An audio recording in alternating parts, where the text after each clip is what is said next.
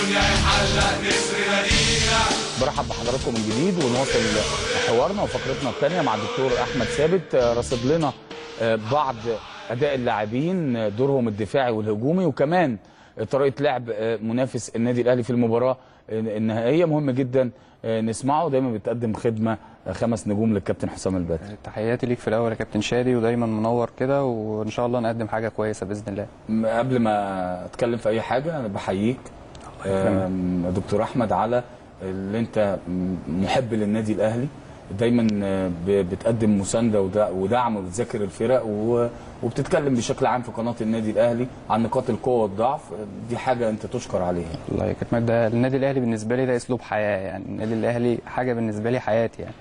طيب ربنا آه، في البداية انت رصدت في مباراة النادي الأهلي آه. و... و... بعض النقاط. بعض النقاط آه، في... في اداء على سبيل المثال عمرو السولية. السولية. طبعا الثنائيه الارتكاز اللي هي عاشور والسولية عاملين عملوا مباراة هايلة هايلة. يعني بصراحة من أفضل الاثنين لازم يكونوا في منتخب مصر سواء عاشور أو السولية. بالن- بالنسبة للسولية تحديدا يمكن الجمهور ما يحسش بدوره قوي. لكن هو بيقوم بدور مهم جدا جدا جدا حتى في مباريات دوري أبطال أفريقيا وهو كسب الكرة الثانية يعني إيه الكرة الثانية ده اللي هنشوف بالفيديو دلوقتي.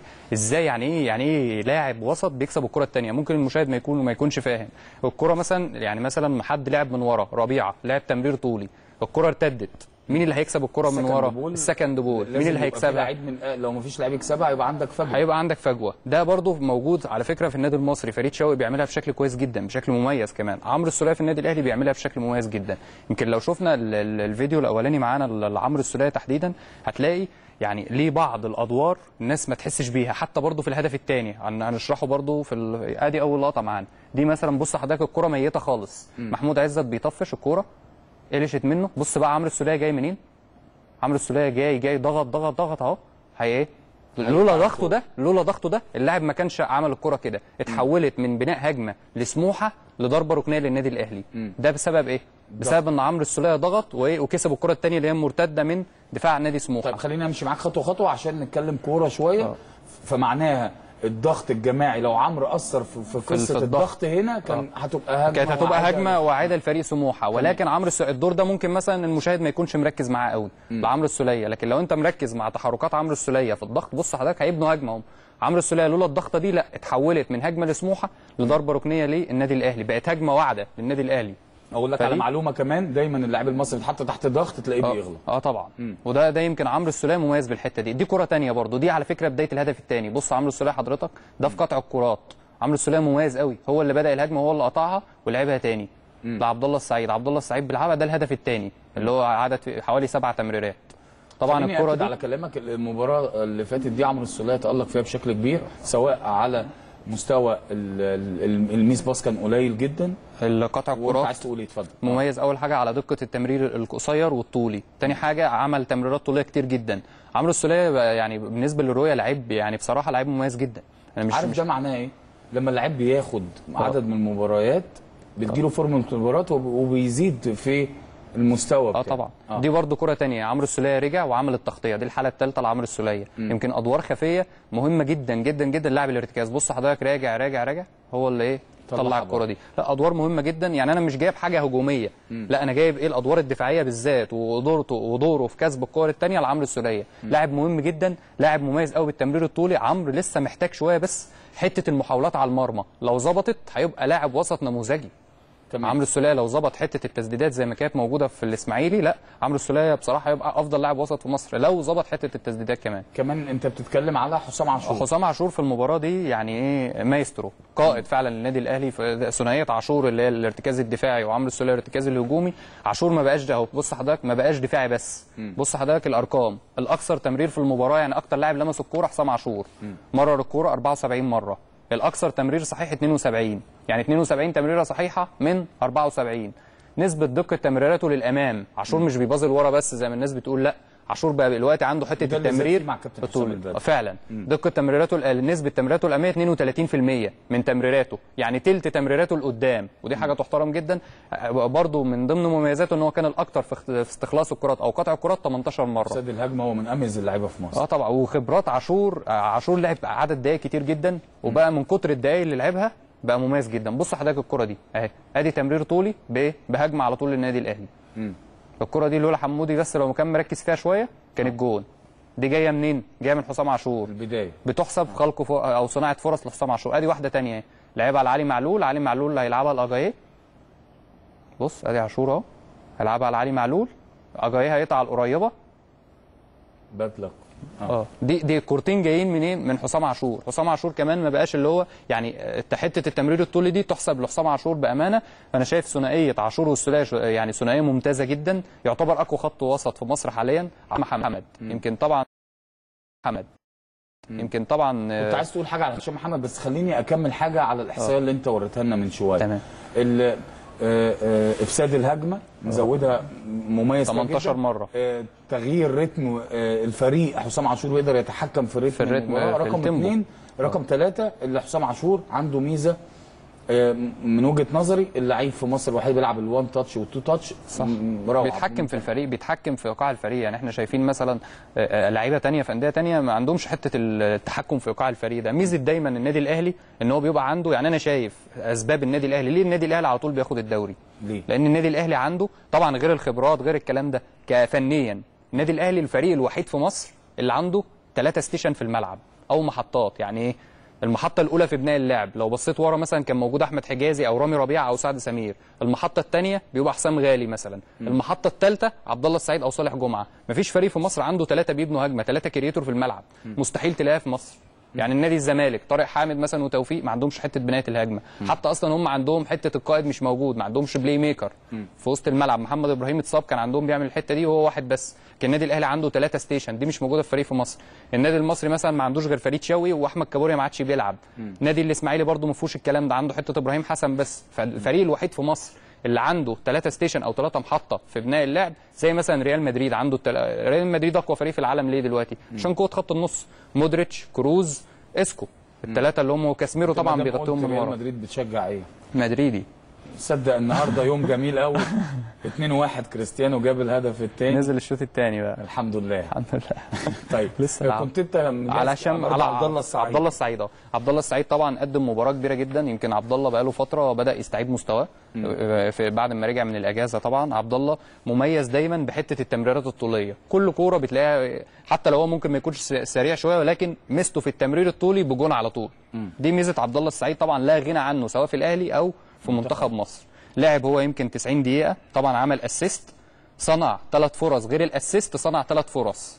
نسبة دقة تمريراته القصيرة عالية جدا 96% عدد تمريراته الطولية يعني التمرير الطولي 10 ده برضه رقم كبير جدا بيأكد إن اللاعب ده عنده رؤية. لاعب اللي هو بيعمل لك التمرير الطولي بمسافة كبيرة جدا. دي برضه وبنقول عنه دايما مش الباز التقليدي اللي فيه مخاطرة. اللي فيه مخاطرة اللي هو برضه هيبقى موجود في هشام محمد. آه، قطع الكرة ست مرات فقد الكرة أربع مرات عامل أربع عرضيات راح على الجون مرتين محاولتين. فدي أرقام يعني أرقام مميزة برضه لعبد الله السعيد وعبد الله السعيد للأمانة يعني واحد من أفضل اللعيبة في مصر ان لم يكن الأفضل يعني. طيب كنت بتعمل بتقول لي في الأول كده قلت جملة مش عايز أعديها كده هشام محمد. آه طبعا. الأهلي هيستفيد منه في إيه؟ هشام محمد أنا بعتبره حاليا هو في الموسم اللي فات ده لو حت... أي محلل رياضي في مصر تيجي تقول له مين أفضل ارتكاز في مصر في الموسم اللي فات هو هشام محمد. ليه؟ هشام محمد اولا لاعب بجوكر بثلاث مهام. بمعنى أنا أنا كابتن حسام طبعا كان لازم يعيده في قائمة أفريقيا. ليه؟ لاعب اولا لازم يلعب يعني بيلعب في ثلاث أماكن. افرض عاشور لا قدر الله اتصاب وأحمد فتحي أنت عايز تستخدمه كباك يمين ممكن يلعب ك holding midfielder لاعب قطع كرات.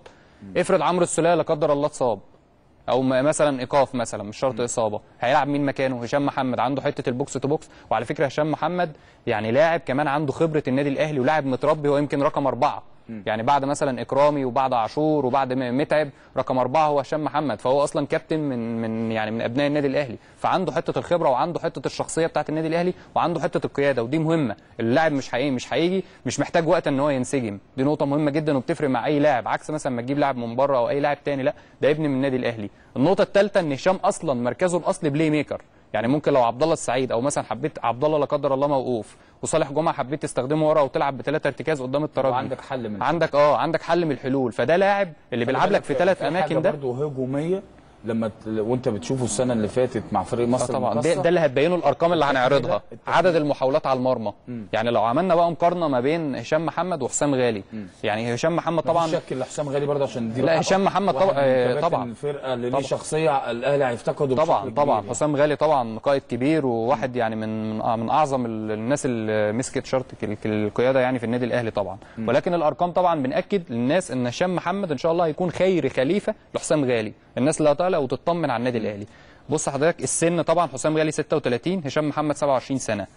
آه، عدد الدقائق اللي لعبها حسام غالي 1444 لكن هشام محمد لعب 2405 بالنسبة للأهداف هشام جاب جون حسام غالي ما جابش.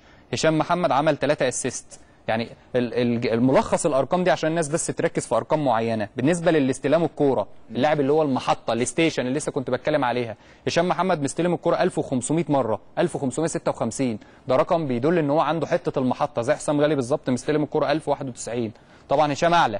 فدي بتأكد النادي الأهلي اللي لسه كنت بقول لحضرتك الفريق الوحيد في مصر اللي عنده ثلاثة station في الملعب. هيبقى في شخصية آه ده كابتن حسام كمان طمعان السنة الجاية إن هو يعمل أربعة station. بمعنى إيه؟ انت عندك سعد سمير عندك السوليه وهشام محمد وصالح جمعة. لو لعبت بالأربعة دول الأربعة إيه؟ لعيب الكورة. الأربعة عندهم حتة البناء الهجمة فأنت عندك أربعة بيبنوا هجمة. دي مش موجودة في أي فريق في مصر مستحيل. فطبعا بالنسبة لقطع التمريرات آه، هشام محمد قطع الكرة 64 مرة أعلى من آه، من غالي. بالنسبة لاستخلاص الكرات برضو أعلى من حسام غالي.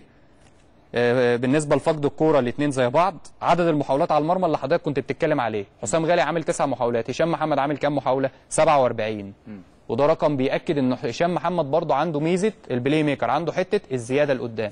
ودي نقطة بنطمن جماهير النادي الأهلي إن ان شاء الله هشام محمد هيكون خير خليفة لحسام غالي سواء من ناحية القيادة سواء من ناحية إن هو عنده شخصية النادي الأهلي سواء إن هو كمان بيلعب في كذا مركز. هشام يعني كابتن ايهاب جلال كان بيستخدمه إن هو بينزل ك holding midfielder وداوودة قدام شوية box to box ينزل يبني حتة ال... عنده حتة التمرير الطولي دايما لأحمد الشيخ. طيب آه، من ضمن الحاجات اللي عايز تتكلم فيها آه، آه، الحالات بتاعه مباراة آه، سموحة والنادي الأهلي؟ آه طيب بالنسبة ل- ل- لأجاييه بقى. أجاييه ده يعني أنا بصراحة شايف إن أجاييه حاليا أفضل مهاجم في النادي الأهلي. ما ينفعش يخرج من ال box. بمعنى إيه؟ دلوقتي أنا لما- بيلعب جناح بيفقد خطورته تماما بأمانة يعني. كابتن حسام بيعتمد عليه لو خدنا بالنا. أحسن ماتشات لعبها الأهلي السنة دي إيه؟ كان ماتش الزمالك الماتش اللي فات بتاع سموحة ماتش الوداد في القاهرة ماتش الاتحاد الدور الأول. لو حضرتك ركزت في كل المباريات دي هتلاقي اللي كان بيلعب مهاجم هو اجاييه ليه؟ لأن اجاييه عنده حتة المهاجم الوهمي بينفذ فكر كابتن حسام بالنص اللي هو إيه؟ اللي هو يعني اجاييه بينزل يسقط دايما محطة ينزل يسقط ويلعب لعبد الله وتلاقيه بيتحرك دي نقطة مهمة جدا ويفتح اللعب على الأطراف المهاجم الوهمي. واحد كمان من الأطراف سواء وليد أو مؤمن. أو طبعا يعني أنا أو بحس حمودي. لما اجاي بيلعب مهاجم وهمي بحس النادي الأهلي بيلعب تيكي تاكا بأمانة شديدا. بيلعب بطريقة لعب برشلونة اللي هي 2007 أيام ميسي لما كان بيلعب مهاجم وهمي. بينزل يسقط لتحت ويفتح مساحات. دي نقطة مهمة جدا غير إن اجاي عنده ميزة في بيجيب أهداف خيالية. يعني بيجيب أهداف معلم لعيب ذكي ولعيب فعلا هو عبقري. هدف اتكلمنا عنه من شوية مع الكابتن ربيع ياسين الهدف ال- اللي هو ده؟ نادي الزمالك كان آه طبعا. أكثر من رائع. ما ط- اللي هو الهدف في نادي الزمالك والهدف ده برده رائع صح. حمودي لعبها له. أهداف بصراحة يعني أجاييه يعتبر حاليا أنا شايفه ما يخرجش بره الصندوق. أجاييه لعيب مهم في المباراة دي على فكرة صنع هدف هو كان رجل المباراة. أجاييه عشان نديله حقه. أجاييه رجل المباراة. ده الجون اللي حضرتك كنت بتتكلم عليه طبعا استلم وثبت الونش وحطها في البعيدة. هدف فينش- عالمي. فينش فينش خيالي. آه، معلم. رائع. معلم يعني لعيب بصراحة ما شاء الله عليه. يعني وإفادة قويه جدا ضربة قوية جدا للنادي الأهلي. طيب أنت كنت عايز جاهز إيه كمان؟ بالنسبة بقى لل- للمصري. آه اتفضل. بالنسبة للمصري عايز عشان الوقت نتكلم على طريقة اللعب الجديدة بتاع الكابتن حسام حسن. هو غير طريقة لعبه؟ آه.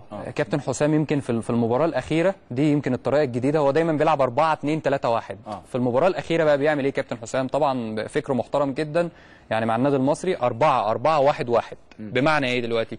الواحد اللي هو تحت ال forward ده اللي هو ال SS ال second striker ده اللي بيجي من تحت هو أحمد جمعة. إيه دور أحمد جمعة ده؟ اللي هو يعني هو بيلعب أربعة. لو قلنا التشكيل مثلا بوسكا.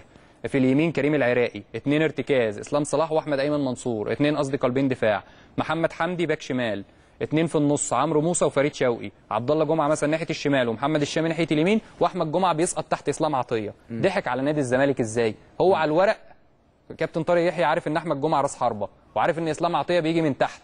مش متوقع خالص إن أحمد جمعة هو اللي إيه؟ جاي من وسط هو اللي الملعب. جاي من وسط الملعب. أحمد جمعة أنا شايفه عمل دو أهم دور في لعيبة خلي بالك النادي المصري مهمة اللي انت بتقولها دي. بالنسبة أهم دور أهو بص حضرتك الخريطة الحرارية بقى. بص آه. دي الخريطة اللي هي بتبين دي من- نقلا عن موقع كورة ستاتكس عشان ياخد حقهم برضه. الخريطة الحرارية بتاعت المصري. أربعة أربعة واحد واحد. الناس تقول لك إزاي؟ بص حضرتك الاثنين الفراودة اللي هو رقم خمسة خ- خمسة اللي هو 15 ده و37 الاثنين اللي قدام خالص. تمام. 15 ده أحمد جمعة. اللي قدام 37 ده اللي هو مين؟ إسلام, إسلام عطية. عطية. دايما أحمد جمعة ينزل يسقط ويفتح مساحة يسحب الونش يضحك على الونش يقول له تعالى معايا تعالى معايا يا ونش ويسيب مساحة وراه فاضية. يقوم كده إسلام عطية يستغلها. دي اللعبة الأولانية. الدور الثاني اللي بيعمله أحمد جمعة وهو الضغط على طارق حامد. طارق حامد في الماتش ده أصلا كان ضايع بسبب ضغط أحمد جمعة مش بسبب إن هو وحش. أحمد جمعة لعيب قوي جدا لعيب من أفضل المهاجمين في مصر حاليا لعيب ريزل بلغة الكورة لعيب بي بيعمل ضغط عالي يعني مميز جدا في حتة الضغط. كان هو كابتن حسام قايل له ما ما يعني إيه خليك man to man مع طارق حامد. طب لما يعمل man to man مع طارق حامد إيه اللي بيحصل؟ زود واحد في وسط الملعب آه، لا، مع فرقته. اللعيب لما آه،. بتضغطه مش هيطلع الكرة سليمة. أيوه هي دي النقطة المهمة. الزمالك ما كانش بيحضر هجمة من تحت. ليه؟ لأن هو بيعتمدوا دايما إن طارق حامد بيعمل التمرير الطولي. كابتن حسام ذاكر صح. قال لك طارق حامد ده معدل التمرير الطولي بتاعه عالي جدا. طب أنا هعمل إيه؟ أضغط على طارق حامد ده وأفسد حتة التمرير الطولي بتاعتهم. خليهمش يبنوا الكرة من تحت. واخلي الونش والاثنين المساكين اللي ورا اللي هو الونش وعلي جبر يعملوا التمرير الطولي. كان كله بيطلع في الآوت. لو بصينا على الحاله الفنية في الفيديو يا ريت نعرض الفيديو الأولاني. بص آه. حضرتك أهو أدي الضغط العالي بسبب بص وقف وقف ثانية. لا مشي مشي. ماشي نرجع عادي. نرجع ماشي رجع رجع رجع. أيوه بس وقف هنا. بص حضرتك طارق حامد اللي في نص الملعب ده. آه. أحمد جمعة ماسكه man to man فعلي جبر هيجي يدور عايز يلعبها مش لطارق حامد هيضطر يلعب لاقي الكرة حد. هيضطر يلعب الكرة الطويلة. الكرة الطويلة نمشي بقى يا جماعة. والفريق اللي عايز يكسب لازم يجهز كورة ويجهز هجمة آه، طبعا. أيوه. مشي كده مشي يا جماعة. مشي. مشي مشي عادي. هنبص نلاقي علي جبر بيدور مش هيلاقي حد. هي- هيلعبها مثلا للونش. بص حضرتك الونش هيلعبها فين؟ أي كلام فضل. ثابت مع مع طارق حامد. ده الدور اللي يبقى هو إسلام يبقى, عطيه اللي خ... يبقى خلينا نشرح للسادة المشاهدين والكابتن حسام كمان يبقى سامعنا. اللي عمله المصري المباراة دي أحمد جمعة على الورق اللي هو راس حربة لكن آه. لا كان بينزل مع طارق حامد عشان الزمالك ما يجهز بيلعب ك second striker بيلعب SS بيجي من تحت أهو. طارق أحمد جمعة أهو تحت أهو أهو. مكلف برقابة اللاعب طارق حامد. ليه؟ عشان أمنع إن هو هو ممكن يكون مثلا في النادي الأهلي هيلعب على حسام عاشور وبقى راس حربة صريح. هو إسلام عطية. إسلام عطية. عشان كده هاكد لك بالحالات. أنا جايب معاك خمس حالات. نمشي حالة. ثانية الحالة التانية؟ الثانية اهي بص حضرتك هتلاقي برضو ادي أهو بص. هنيجي نبوظ هنلاقي بص أهو ده طارق حامد أهو اللي معاه الكورة. بص مين اللي ضاغط عليه؟ أحمد جمعة. أحمد جمعة. بص. الكرة دي بدل ما تبني هجمة لنادي الزمالك أحمد جمعة هو اللي إيه؟ هجمة مرتدة. رغم إن يبان اللي قدام الناس إن أحمد جمعة أصلا مش مما... إن ما عملش ماتش حلو عشان ضيع كورتين ثلاثة ولكن دوره التكتيكي دوره التكتيكي في. الملعب مهم جدا. الله ينور عليك. دوره. التكتيكي يعني دي لقطة تانية. دي لقطة ثانية بص حضرتك أدي حارس الزمالك الشناوي هيلعب. هتلاقي طارق حامد واحمد جمعة مع طارق حامد أهو. ده بس أنا جايب عشان الحتة دي. مبين للناس إن هو أخد حتى في الضربة الثابتة تلعب man to man معاه. فدي ده دور مهم جدا لأحمد جمعة. بدل ما كان بيلعب راس حربة لأ. ده بقى بيلعب تحت. وحتى في الخريطة الحرارية بينتها نرجع اللقطة دي ثواني يا جماعة اللي هي. تمرير الطول. أيوه بس. بص حضرتك في الكرة دي أحمد جمعة نوقف. أحمد جمعة أهو نازل تحت بيسحب معاه الونش بيضحك على الونش. نازل بيه تحت عشان مين؟ إسلام عطية يتحرك في المساحات. دي الحتة اللي أنا اتكلمت عليها أهو. أحمد جمعة نزل تحت الكرة اتلعبت تمرير طولي في ظهر المساحة. إسلام عطية. إسلام عطية ده برضه اللي قدم شوط رغم إن هو عنده حوالي 18 سنة. إلا إنه بصراحة أول مباراة ليه. تحسب لكابتن حسام بأمانة. يعني إن هو بي- بيدفع دايما باللعيبه الشباب يعني. فإسلام عطيه بص اهي دي, دي كره ثانية بص لا ثواني نوقف وقف. الكره ديت عشان الناس تكون فاهمة. أحمد جمعة بينزل كمحطة. يعني الدور الثاني اللي أحمد جمعة بينزل كمحطة. يلعب يفوز بالالتحام الهوائي. ويتحرك في ظهره ويتحرك في ظهره. بص حضرتك الكورة. أدي أحمد جمعة نازل نازل على طارق حامد بياخد منه الالتحام الهوائي. بتتلعب بيبني هجمة في الطرف لمحمد الشامي. طيب هسألك سؤال فني مش عارف انت بقى هتقراه ولا لا. اتفضل. النقطة اللي عايز اتكلم فيها النهارده النادي المصري عنده مشكلة كبيرة مش زي النادي الأهلي. يعني النادي الأهلي عنده وفرة عددية. المصري مم، الأهلي مش مستغل صفقاته. وكذلك المصري. الصفقات كلها هو باع لعيبة كتير. فده كان مضطر اللي يعمل كده ولا ولا ولا لأ؟ بالنسبة للمصري بالنسبة لطريقة اللعب اللي هو غيرها خصوصا اللي فيش لعيبة موجودة. هو هو مضطر يعمل كده. هو م. كمان يمكن هو عنده كابوريا بيلعب الحتة دي بس هو في حاجة في موضوع كابوريا عشان رايح الزمالك أو هو يعني في في حاجة. لكن هو بالنسبة له كلاعب تاني يلعب الدور ده ممكن كابوريا. كانوا ما بيلعبوش حتى ما نزلوش يعني. ما بيلعبوش خالص. فهو بدأ يفكر إن أنا أستخدم أحمد جمعة في الدور ده وإسلام عطية إيه يتوغل في المساحات دي. يعني في نقطة كمان مهمة في, في النادي المصري. محمد الشامي. محمد الشامي أنا بصراحة يعني لاعب مميز جدا. يعني أنا كان يعني هو في النادي انبي وهيوقع نادي الزمالك كنت أتمناه بصراحة أشوف في النادي الأهلي لأنه لعيب مميز جدا عنده. أنت هتجيب مين ولا مين ولا؟ نقطة. أنا كنت أتمنى. بس هو يعني إيه عنده حتة التحرك بدون كورة. وعنده اللي هو ممكن يكون بديل مؤمن زكريا ناحية الشمال. اللي هي مثلا بيلعب برجله اليمين بيلعب برجله اليمين. إحنا محتاجين برضو واحد بيلعب برجله اليمين في تحت الأجنحة. المكان دوت فيه لعيبة كتير في جداً. لعيبه كتير. جدا بس إحنا برضو بصراحة. محتاجين واحد بيلعب برجله اليمين يعني بصراحة. بس محمد الشامي لعيب مميز جدا وكل مصدر برضو خطورة النادي المصري في الماتش ده كل كورة وهجمة للنادي المصري جاية من اللاعب ده. اللاعب ده يمكن لو لو عرضنا حتى آخر لقطة هتلاقي كوره هو بيتحرك دايما بيضحك على الباك اليمين. كابتن حسام يعني أنا أتوقع إن هو هيلعب على المساحات اللي ورا علي معلول وأحمد فتحي. هو دايما لما يجي يلعب النادي الأهلي بيحاول يستغل المساحات دي. يحاول مثلا إن هو بيضغط ضغط عالي ويلعب التمرير الطولي بيستغل تحرك محمد الشامي. لو نفتكر مباراة الدور الثاني لو جبنا حتى هدف النادي المصري في النادي الأهلي في مباراة الدور الثاني اللي هي واحد واحد. محمد الشامي اتحرك من ورا. أعتقد كان محمد هاني أو أو باسم علي. حد فيهم كان اتحرك من وراه وقطع ولعبها تسقيطة. هو ك- دايما عشان اكد على معلومتك أو أو نشرحها بشكل أكتر آه. اللي هو بيستغل هي دي. محمد الشامي محمد في الشامي. المساحات الفاضية. اللي في ظهر الطرف اللي بيلعب عليه أهي. بص حضرتك محمد الشامي قطع إزاي من ورا محمد هاني؟ آه. دي دي دايما الكرة اللي بيلعبوا يعني النادي المصري دايما بيلعب عليها وكابتن حسام ده فكره دايما لما يجي يلعب النادي الأهلي. فلازم طبعا أحمد فتحي يكون حذر من طبعا من طب عايز أسألك في نقطة برضو فنيه انت تابعت المباراة كويس بترصد ل... ل... ل... ل... ل... سواء المعلومات دي للكابتن حسام البدري أو للجماهير. دايما في الدوري العام المصري كان ليه طريقة لعب واحدة آه والضغط طبعاً. على كل الضغط الفرق قبل. الأهلي كده قبل الزمالك قبل. المقص ما غيرش عشان كده تلاقيه دايما ما بيتعادلش يخسر يا يكسب. طبعا. المباراة الأخيرة دي من اتغيرت؟ ولا لا؟ ضغط آه ضغط من طبعاً. قدام ولا ما ضغطش آه. بالنسبة أنا بتكلم كطريقة لعب اتغيرت لكن كفكر كابتن حسام ما اتغيرش اللي هو الفكر إيه؟ إن أنا بضغط ضغط عالي هيلعب برضه قدام النادي الأهلي وقدام نادي الزمالك. فكر كابتن حسام ما بيتغيرش ضغط عالي لازم أضغط أمنع النادي الأهلي أو نادي الزمالك إن هم يحضروا الهجمة من تحت معروف رتم على طول عالي ودايما عشان تلاعب كابتن حسام حسن لازم تكون بتضغط ضغط عالي طول الماتش. كابتن حسام عمل حاجة حلوة جدا في في المباراة اللي هي إيه؟ الأولانية بتاعت مروان محسن. عمل إيه كابتن حسام؟ دايما النادي المصري عنده لعبة مشهورة جدا أو كابتن حسام. أحمد أيمن منصور بيبني الهجمة من تحت يعمل يلعب تمرير طولي. آه لعيب مميز جدا ويحسب طبعا بالتأكيد إن هو لعبه في المركز ده. أحمد أيمن منصور عنده حتة التمرير الطولي دايما. فراح عامل إيه في المباراة ديت؟ هي المباراة دي. مروان محسن لعب man to man زي ما عمل حسام حسن مع الزمالك. عمل كابتن حسام البدري مع كابتن حسام حسن في المباراة دي. مروان محسن بقى مفسد لهجمات المصري من تحت. من تحت كان بيرجع مع كان بيرجع معاه مع أحمد. أيمن آه. منصور. كان بيرجع معاه دايما يضغط عليه. عشان ما يجهزش. فأنا أعتقد برضو كابتن حسام هيعمل كده. هيمنع أحمد أيمن منصور لأنه دايما مميز بحتة التمرير الطولي. دايما عنده حتة التمرير الطولي فدي نقطة مهمة جدا. يعني بص حضرتك ده المباراة اللي هي مروان محسن كان عامل دور دفاعي. مهم آه. جدا. هو المصري بيلعب 4 4 1 1 دايما محمد حمدي بيفتح. دايما تلاقيه منطلق تحس إن هو جناح. واخد حرية حرية. وتلاقي ديفندر بيغطي عليه فريد شوقي. لو لو عرضنا الخريطة الحرارية يا جماعة اللي هي خريطه التحركات. بص حضرتك على الخريطة الحرارية اللي هو بتاعت محمد حمدي. أماكن تحركه فين؟ قدام الزمالك.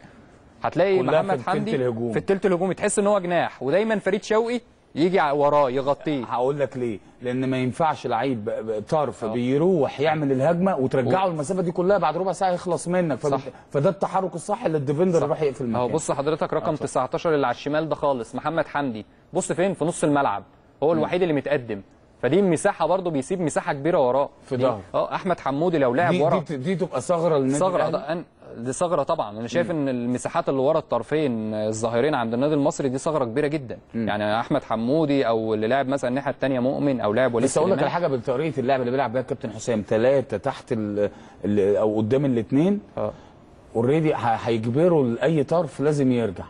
لا بس محمد حمدي بالذات بيطير بيديله مساحة. يعني ممكن ال- الكريم العراقي اللي هو يمين بي يعني ما بيتقدمش قوي لأنه لعيب صغير، آه. لسه خبراته قليلة فتلاقيه خايف شوية. لكن محمد حمدي ما شاء الله تحس إن هو جناح. آه وبعدين الميزة كمان إن عبد الله جمعة بيعمل نفس اللي بيعمله وليد سليمان في المباراة الأخيرة مع علي معلول. وليد سليمان تلاقيه قاطع وعلي معلول بيعمل الاوفرلاب من وراه. اللي بيحصل برده في النادي المصري نفس الكلام. عبد الله جمعة بيقوم قاطع وتلاقي مين؟ آه، محمد حمدي بيجري وراه. محمد حمدي لما بيتقدم بيسيب مساحة كبيرة جدا وراه. دي أعتقد حمودي لو في حالته أعتقد إن حمودي ممكن يكون يعني رجل المباراة في المباراة دي لو حمودي في حالته لأن محمد حمدي يعني حتى أحمد الشيخ في مباراة المصري والمقصه تعب جدا محمد حمدي دايما بيتقدم وبيسيب مساحات وراه. دي نقطة مهمة جدا. معاك حاجة تانية مجهزنا ولا كده خلاص؟ لا معانا طبعا. إيه تقول إيه؟ يعني بقيه نقاط قوة النادي المصري يمكن إحنا اتكلمنا على رقم واحد على اللي قلنا أحمد جمعة والدور اللي بيعمله بيه. رقم اثنين قلنا محمد الشامي. رقم ثلاثة قلنا أحمد أيمن منصور ودوره في تحضير الهجمة. رقم أربعة والنقطة المهمة جدا اللاعب فريد شوقي. فريد شوقي واحد من أفضل الديفندرات في مصر بيبذل مجهود بيبذل مجهود عنده كتير. power وطاقة في وسط طبعا الملعب. طبعا. يعني أنا شايف بالنسبة لي يعني يعني بالنسبة لي شايف إن مثلا حسام عاشور عمرو السولية في النادي الأهلي وهشام محمد مثلا لما كان في المقصة رقم أربعة يجي وراهم على طول فريد شوقي. بأمانة دول الأربعة المميزين طول الموسم. فريد شوقي لعيب برده معدل ال work rate بتاعه عالي جدا عامل زي مثلا أكرم توفيق كده.